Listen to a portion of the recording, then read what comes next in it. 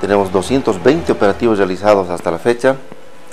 Tenemos eh, en cuanto a sustancias secuestradas, que es, decir, eh, cocaína, tenemos 34.525 gramos de cocaína secuestrada. Marihuana tenemos 395.460 eh, gramos de marihuana secuestrada. Y esto es debido bueno, a todos los operativos que ha venido realizando la, Fuerza Especial, que tenemos 361 eh, gramos de marihuana secuestrada en lo que es el microtráfico. Estamos eh, coordinando también estas actividades de control de microtráfico juntamente con personal de, la, policía, quienes realizan los patrullajes constantes.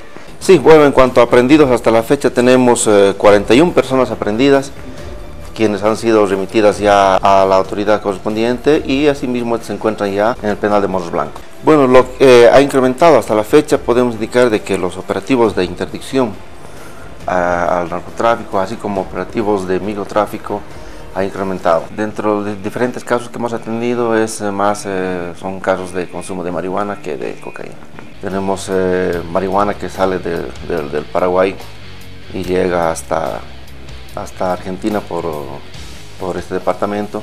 Entonces hemos realizado operativos en, en las carreteras, operativos en el Chaco, Villamontes, Yacuiba, Bermejo, donde hemos eh, secuestrado en un caso relevante más de 415 paquetes de, de marihuana. Nosotros como personal eh, especializado de la Fuerza Especial de Lucha contra el Narcotráfico contamos con los recursos y el personal adecuado ya que recibimos un entrenamiento antes de, formar parte de la fuerza y estamos capacitados para poder eh, realizar operativos de interdicción en todo momento y todo lugar.